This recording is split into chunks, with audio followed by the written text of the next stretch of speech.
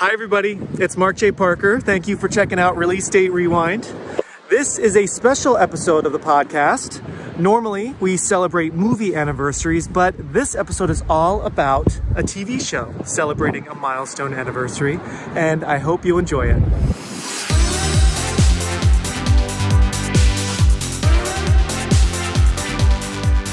All right, everybody, I am so excited. I'm shaking because this is a first for Release Date Rewind. Maybe this episode is is a special premiere date rewi- rewind or something, if I could say it clearly. But in this special episode, we are talking about the first season of Dawson's Creek, a very special show in our lives for our generation. I am joined by my cast members, my Capesiders. I am joined by Sarah Menaquale and Kit Sheehan, who have been on the show before. Hello, my hometown loves. Hey, hometown loves. Isn't this also? I'm just so grateful. Thank you guys for doing this. Thank you for watching m- more hours than you were probably hoping. I don't know, maybe, but you never have to twist my arm. good. Yeah. I, I'm I into knew. it I, all over again. I mean, like, and we're missing our our fourth. We're missing our fourth lead, Melissa Ward, who who is a brand new mom. So maybe she'll join. But I mean, you know, we'll give her shit later. But at least we have the a, a reunion of three. Now, okay, I guess I'm obviously Dawson. I feel like that makes a lot of sense. Yeah. Kit, you're obviously Joey, right? Oh, yeah. I mean, so then Sarah, are you Jen Grams. or Pacey? Jen.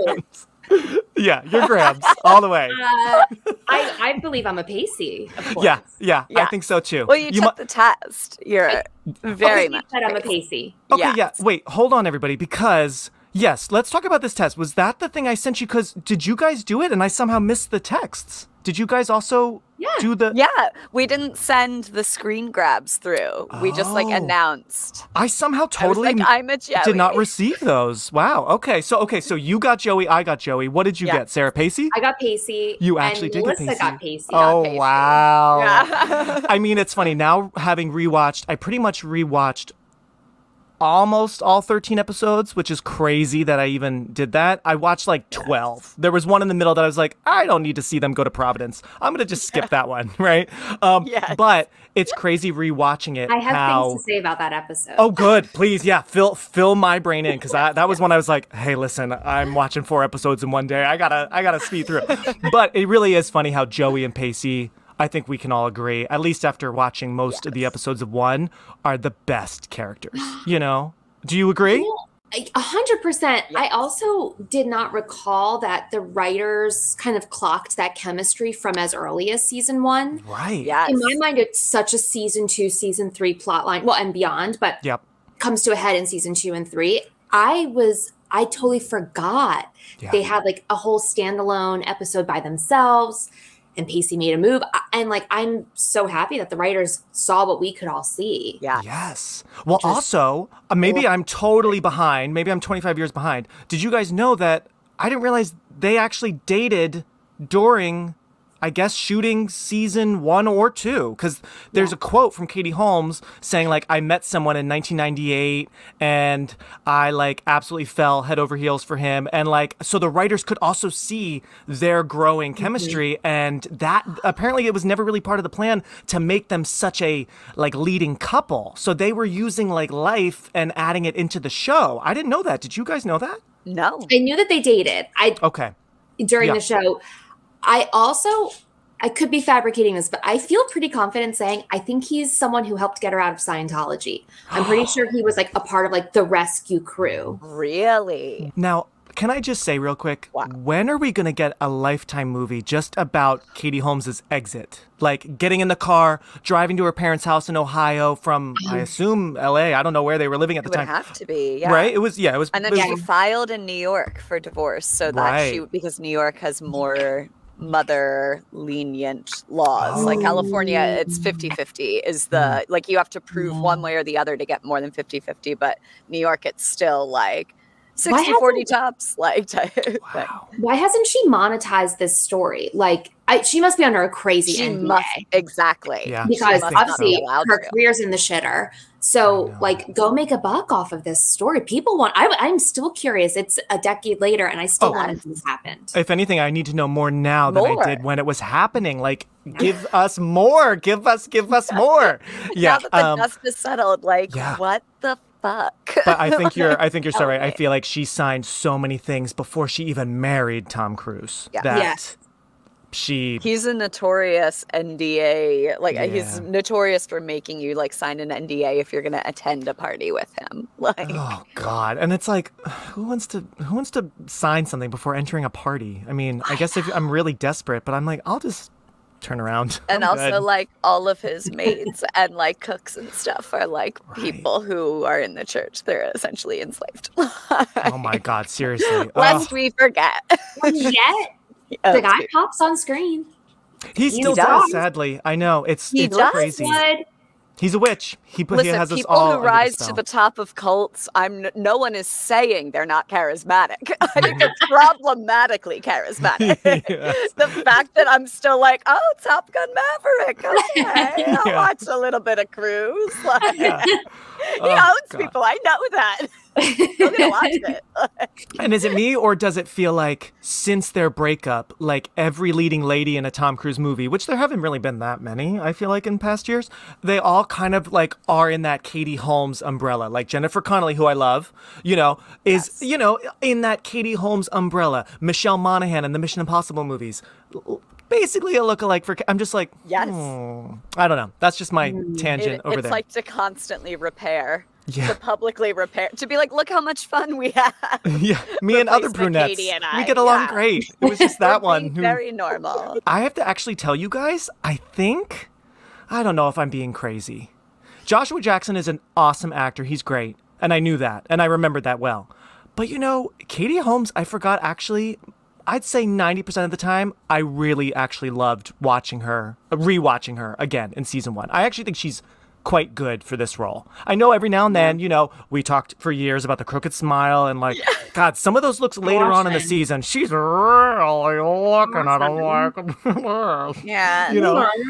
but you know, I think she delivers a lot of her comedy really, really well. That sarcasm, and yeah. I don't know. I I I fell in love with her again. Actually, I have to say, more so than She's Michelle Williams. I found her. a- something. bit of a wet I will blanket. say. Yes. Oh, see, I, I've, I was re-struck. I was like, well, this is why Michelle popped. This Yeah, is why she yeah. came out of this. Her scene with Gramps, like the, oh the yeah, with the tears and the whole. But I was, I've gone back and forth with Katie Holmes. Like I used to think she, when we were really young, I used Mm-hmm. to think like she was like the height of like just naturalistic, like to be Mm. natural. And I'm like, no, that's like insecure. that's like a tick. That's like a nervous tick. It's not a choice. it's Yeah. not a character choice. And so she like so then I like went full. I was like, I could do that, and she's not good at all, and I'm very jealous, and I'm Yeah. gonna like funnel that jealousy into a misplaced rage. Um, and now I've come back to be like, you know what? I see how she got cast though, because Mhm. she's so she does have this mournful quality. There's so much she gets for free. She has this mournful quality with her eyes. She's beautiful, and she is like she's good in terms of like she is. She's always doing something. Like when her character's walking, she's thinking of something or reacting to something someone says or playing with her jacket. And I'm like, okay, she breathes life into this. Like this could Yeah. be worse.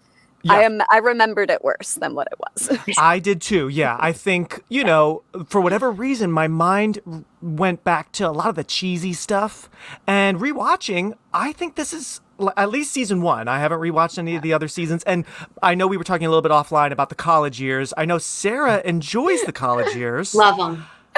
I love that you love them. I I know, I- I, we'll- I, and- can't.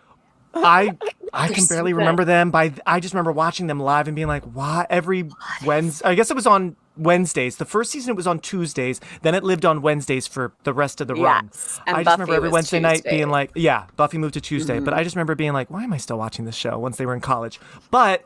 You know, at stop. least season one is a really great show. There's a lot of great storylines. Like I said, a lot of good comedy that I completely forgot. Yes. You know what I mean? Yes, totally agree. I think I've I think I fall on a different side of Okay. how I feel about Katie in this rewatch. Okay. In that she is always doing something, and I don't always need her to be doing. something. like, And- calm down. And this is Actually, I not have- about you. I Like- in my notes, I wrote like she walks. She's clearly using her walk to show us I'm a tomboy. Oh, yeah. It's as if they told her, like, don't forget, Katie, like, you're supposed to be a tomboy, so really give me that And, I- energy. uh-huh. and like Yeah. a lot of that. Yeah. Rawson. And But like then on the flip side, Jen God. is always Michelle Williams is always you can't really see, but she's always got her hands on her hips, and she's always uh, and Mm. Like she this. does this like thing reverse hands on hips. Yes, the nurse. Yeah, the, the my back hurts. Hands on hips. She and nurse Bessie. She yeah, she and Joey's sister Bessie have the same posture. It's always like sister Bessie was heavily pregnant, yes, as any woman named Bessie should be. uh, right, exactly. I know mean, every character. You're like, but we'll have a pregnant character, and we shall call her Bessie. Yeah. but or Jen, she's either doing that or she does this thing where whenever she's walking, oh, let me see if I can kind of reenact it. It's kind of like a you, you know, Dawson, it's this almost like Nell, Jodie Foster Nell swaying. that- Goodbye. yes, like it's just kind of like and she could be happy or sad. She's just like, yeah, you know what? Let's go to that carnival. Or it's, you know, Dawson, um I just it's just this weird swaying that would take me She out of it does. sometimes. You and know. then, or she'll go backward. like Yeah, the that. backward. and then it's Yeah. yeah. with the hurting back, with the, the, tiredness. the out of the main four, the the person that had the most kind of like the least awkward physical presence is Joshua Jackson for me. Yeah. You know what I mean? Which which And is I, guess also his character. Van Der Beek, even though, and no matter what, and I'm looking at it as they close up, they zoom in, and I'm, and I'm like, he does have the skin right here is so soft, but Mm. goddamn, if that man doesn't look a day, no day younger than 35, at the very, he's like, I'm just, I don't know, freaked out because I'm like a high school sophomore. I'm like, bullshit. Yeah. He I, I feel like he changed his voice to be higher. Like that was the Mm. thing that caught me most about his performances. He's like, "Hey, Joey," and I'm like, "No, no fucking chance. That shit is in your chest, my dude. Like, no chance is your is your voice that high pitched. Yeah. So sorry to It's breaking right now. Yeah. Yeah. That's a really boy. interesting point, Sarah. Yeah, because there are moments where he's like, "Hey, Jen, uh, you want to go?" And it just feels f- like put on. I totally, I totally hear you. Yeah. But also showing Greg, because Greg only ever saw the hurricane episode, which I Oh my can't wait to talk about that in a few minutes. Because wow! But um, I showed him today the scare, aka the Friday Yes, the Thirteenth Friday the episode. I've always loved that episode. Wow, wow, wow! But Yes. he said about James Van Der Beek's face that yes he's looks so much older than them when really he was only i think like maybe 20 21 scott foley was like 25 Yeah. and and greg definitely said like no that guy is an adult he's Yeah. out of college he's Yeah. and i was like yeah the next year he was in felicity in college Yeah, so I as mean, an you know. RA, as like a year older an than older Felicity. college Yeah, student. right yeah so like college. everyone's like no that's a man everyone else sure but even dawson's face his and it's funny because i was trying to figure out a way to say it and james van der beek is perfect for this role i think i think he's doing just Yeah. exactly what we need that neurotic goofiness but his emotions his like you know he's just so kind of like elf-like at times that it is a little off-putting right Yeah, the features just uh, yeah it's like the Well- face is big and everything's big that's how you get Also- the crying meme. I don't want to. He can't control this, but my God, the size of the dome on that guy. Whoa, that was another. I was you thinking that too. I was like, they- it's it's not they that he has a a zoom in on forehead his- wrinkle. It's just like there's so many bones. face. They did a zoom in on him at one point, and it cut off literally like like like it was. Well, and that's why the Oompa alarming. Loompa joke in the detention episode really kind of, ooh, I feel like I'm living through it with him because I felt like that was they took that from his real life, maybe that that insult. Yeah. I don't know. Well, uh, should I be offended because people said I looked like Dawson? Do I not have the domes? You do not have. No, Oh, you okay, don't. thank you. It's already. if- Yeah. if I did. You can be honest, but No. uh, I would tell at- you, you do not. Okay, I missed the dome. James Van Der Beek did kind of grow into now that he's Mm. not having the cascading hair. It Yeah. kind of like looks just hit that looks normal. From all. Yeah. And you know, the cascading hair was beautiful, but then by the end of the season, when it was also cascading down here, it's just like, ooh, we gotta really, you know, it just, he and, I mean, really, it was great casting that all four of them are so opposite. You really had the opposites with the girls, you had the opposites with the guys, you had Pacey with, as Joey says in one episode, a Julius Caesar haircut, and like, you know, he very simple hair, and He then really Dawson's got these flowing locks that are kind of silly, you know. Yeah. But There comes a time in all of our lives How about Uh, Dawson? you're, you're Dawson. Dawson, yeah, I know. Um, we met before. Wow, you, you look different. Puberty.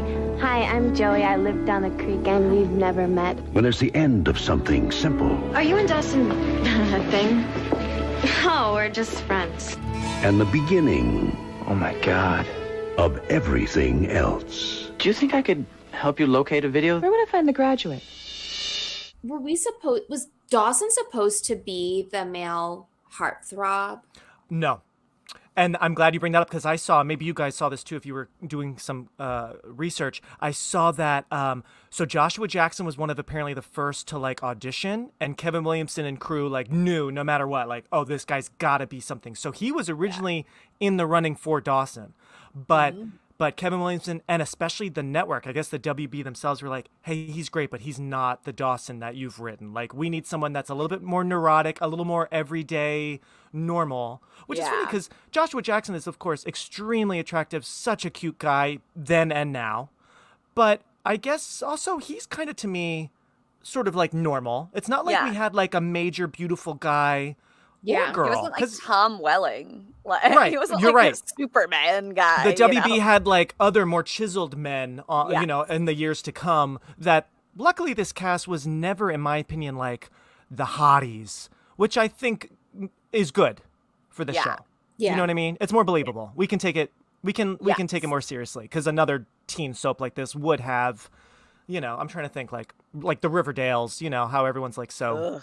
chiseled. Yes, you know. Riverdale is like trying to be Euphoria, which is like a fever dream that we all had like one time we got drunk in high school. Like it's not it's, it's not like this. I'm not saying Yeah. it was great or safe or legal all the time, but it wasn't that. Oh, I know. Yeah, this makes Euphoria look like an absolute nightmare. I mean, Yeah. Dawson's. Cr- I mean, Euphoria is the uh, upside down in Stranger Things. In when you when you're in Capeside. Whoa. Oh, yeah. Right. Yeah. yes. Jen like came Jen transferred from Euphoria, New York Yeah, into ooh. like Dawson's There you go. Yeah. Yeah. Jen. Jen was the um. Why can I not remember her name? Sydney Sweeney of Yes. of her old life. Yes. Maybe I don't know. Cassie? Right? Well, Cassie. supposedly. yeah, Cassie, supposedly, yeah. Which, all right. Well, since we're talking about the actors, why don't I set the scene, guys? Let's set the Yeah. scene, and then let's nerd out about the first episode, and let's go through. I want you guys to tell me all of your thoughts. You know what it was like rewatching. So let me set the scene. We are going back 25 years, everybody. We are rewinding to January 20th. 1998. That is when it was a Tuesday night, the WB Tuesday. Dawson's Creek premiered at 9 p.m. Its lead in was Buffy. And so it was interesting looking at the TV schedule. Buffy was on Monday nights after Seventh Heaven. Buffy was airing season two. Seventh Heaven was also season two. Um, so this was still very early in the WB. I was looking Thursday night, Friday night, Saturday night, the WB just had nothing on. I guess it was repeats or just like like so they didn't even have a full schedule. That's how early this was, right? But so Buffy aired at 9 on Mondays, but this week with Dawson's Creek premiere week, they had a two-parter. So it was funny. Buffy aired both Monday night and Tuesday night. So I, I, I didn't know that. I forgot that, but you know, I was glued. I'm like, okay, give me everything. Now, Kit, I know loves Buffy. Sarah, I forget. You didn't really watch Buffy, right? I have I've only watched the first episode of Oh, of wow. it. Okay. Um and I support people who support Buffy. It was I think you would really like it. So, uh, Jen, you a virgin? That's mature. Hey, tomorrow. Hi. Pacey, what are you doing here? Summer 42 is officially reserved in your name. My mom knew that Dawson's Creek was about sex. Yeah. And as like a kid, when I finally was allowed to watch it in seventh grade, from seventh Mm. grade onward, I remember thinking like, this isn't about sex at all. But now, as an adult looking back on it, I'm like, this is all about oh sex. oh sex. my God. It is Holy all about shit. sex. Yeah. You My mom more. didn't even see the the, the teacher, Oh. oh like, legal sex issues. Oh boy. Yeah, honestly, you know, comparing it to Euphoria, which we know is also all about sex and all that, Yeah. but I feel like Dawson's Creek, these characters are talking about sex way more than you. I mean, Euphoria just they just do it. They're not talking about it. They're just right. they're just doing all this shit. But wow, so many conversations. You know, how often do you walk your dog? How I mean, my God, all They're right. constantly talking about masturbating in a way that teenagers do not. Not. And Oh. might I say, the nexus of all of these conversations is one Joey Potter. She is the Mm. horniest person on this show. because so her right. parents aren't around. I know. And I guess Bessie and whole Bodie are like just doing it all the time, maybe. So she's like, well, like my sisters, they're do- kids. Right? I mean, I guess. And like Yeah. her dad had an affair. Right. And I Kevin Williamson loves a parental affair. Isn't that Oh, crazy? yeah. There are so many rewatching it. Oh my gosh, there are some lines literally taken from the Scream scripts. But ma cheating mom, cheating dad. I mean, that popped up in so much of his stuff at this time. It's so Like, you interesting. okay, buddy? Yeah, I, I have I guess his parents must have had something like I know. I have a book about him that I should have reread that I did a book report in seventh grade. Um, it was called From Scream to Dawson's Creek, all about his uh, rise to fame. And I should have reread it for this, but I can I can only research so much, Do so everyone. much. Well, that'll be for another day.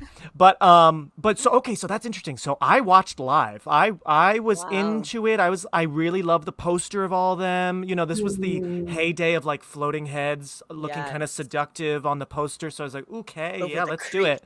Over the creek. So I watched it live. I can't really remember what I thought of it. I kind of knew half of it, especially at that age. We were like in fifth grade. We were what, 10 going on 11 ish. So I was definitely aware of like, okay, this is so corny, but I also love so many elements of it. So I think from the start, I didn't hate watch it, but I definitely kind of, you know, kind of watched it with a half critical, half loving eye. Do you know what I Yeah. mean? Mm. Yeah. Yeah. Yeah. Okay, so this is what was going on at the time, okay? So teen TV shows up until this point, like I said, Buffy and Seventh Heaven were airing. They were season two, 90210, Beverly Hills 90210, not the reboot that came a couple years later. That was still airing. That was airing season season eight. Melrose Place was in season six, and Party of Five was season four. So that's kind of the the landscape of teen dramas. Um, let's see. On the news side, the country was starting to hear about Bill Clinton and Monica Lewinsky. And fun fact, I saw this. I think it was episode two. Um, was that was the same night all the networks were airing Bl- Bill Clinton's like emergency live speech saying I did not have sex with that woman. But the WB wasn't. They were like, no, no, we are airing episode two of Dawson's Creek. So sorry. Where a teacher know. abuses her position of power and has sex with a child. How I know. timely. Right? I was like, whoa, that's crazy that that They're news like, was we breaking. did it hotter. yeah. Yeah. Watch. It's different when it's an older woman, yeah. right? You'll never get it. yes. So I thought that was crazy timing. On the music side, we were just talking about it. Truly, Madly, Deeply by Savage Garden was the number one single for a couple weeks. All the Oh. rage. You're Still the One by Shania Twain and Getting Jiggy with It from Will Smith. They were about to be big singles. They were they released later in January. And then of course popular movies Titanic was number 1. It had just come out around the holidays. Good Will Hunting and As Good as It Gets were also very popular and Spice World had just come out in theaters this same week. So yeah, check that out. We'll talk about Spice World in a different episode. So that was all what was going on, you know, popular stuff. And I thought this was interesting. Promotion wise, I never knew this. I mean, we all saw Titanic in theaters, I think, right? Oh, I'm yeah. sure. Yeah. Right. I was mean, allowed to see Titanic. I was like, not Yes. as good as it gets, not Good Will Hunting. Oh yeah, yeah. Those were yeah, little little uh, more mature, right? Yes. But I don't have any memory of, of this whatsoever. But the WB was the first TV network to run trailers of a show in the movie theater. They were putting the trailer for season one of Dawson's Creek with Titanic.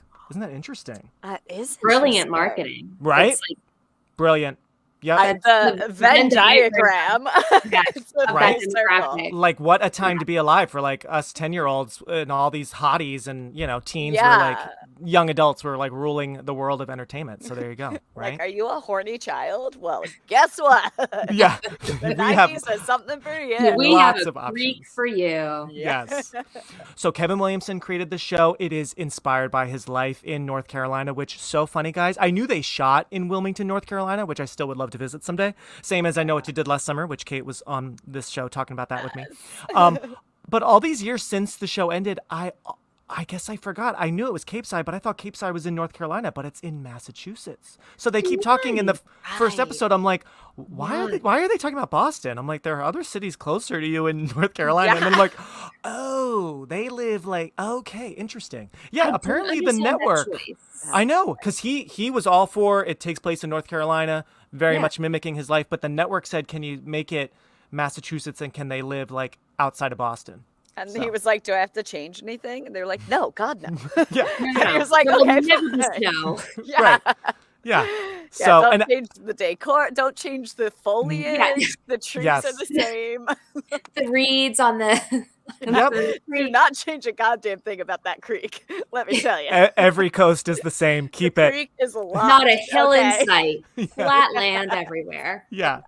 Right. Exactly Um, what the Northeast is. So he had just had success, of course, with Scream 2 had just come out. I know what you did last summer, Scream, of course. So he was like literally the screenwriter like to get in your team. He it's funny, later this year, it's funny how everyone except James Van Der Beek had then their breakout movie role. Of course, Joshua Jackson we know was already in the the Mighty Ducks trilogy. So he was probably the most well known of the group. But later in 98, you had Michelle Williams was um, in Halloween H2O, H2O. which Kevin Williamson produced, and Steve Miner, producer and director of this show, and he directed the first episode. He directed that movie. So funny, a lot of crossover. You had her in that. You had Katie Holmes in Disturbing Behavior that summer, and then you had Joshua Jackson in Urban Legend. So it's And funny how teaching Mrs. Tingle. Yes, and they teaching keep Miss Tingle. Calling that one like teacher Mrs. Tringle. Tringle. yep, exactly. I was just gonna say, there's a moment in another episode, a follow-on episode, where Joey is faking her pregnancy, and she Oh. calls her Mrs. Tingle. Oh, they Roll just tape. they just changed it. Okay, well that was promotion because Katie did that movie with Kevin Williamson Yes, uh, the year after, right? N- And it's funny because James Van Der Beek did not do the horror thing like the rest of them, and he didn't do a movie until the following year with. Varsity Blues, which was and then iconic. Rules of Attraction. and then Rules of Attraction, which, which, was him that. trying to get in, back into that disturbing behavior. Was like, I want to make that young disturbed teen money. And that was at a time when, like, I remember he and like Jessica Biel, like everyone on the WB wanted to do like a role that was not so Yeah. cookie cutter. Sarah Michelle Gellar did, of course, uh, Cruel Intentions with Joshua Jackson. So you know, everyone then like had their they're like, I'm gonna be a bad whatever, you know. Yeah. So he based this on his life. He had to write a 20 page outline in one night because apparently when he met the other producer of the show, this executive named Paul Stupin.